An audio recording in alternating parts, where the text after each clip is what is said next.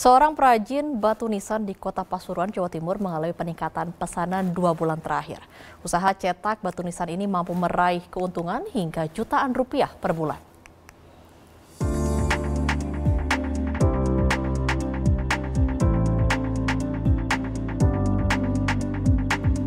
Setiap hari, Supardi, warga Kelurahan Gading Rejo, Kecamatan Gading Rejo, Kota Pasuruan, Jawa Timur, memproduksi batu nisan.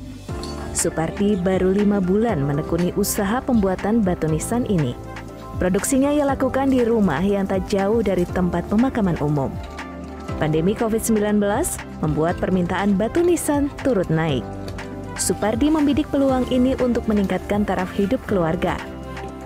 Supardi mengungkapkan sejak dua bulan terakhir permintaan batu nisan meningkat dua kali lipat. Biasanya dalam sepekan, pesanan capai lima batu nisan.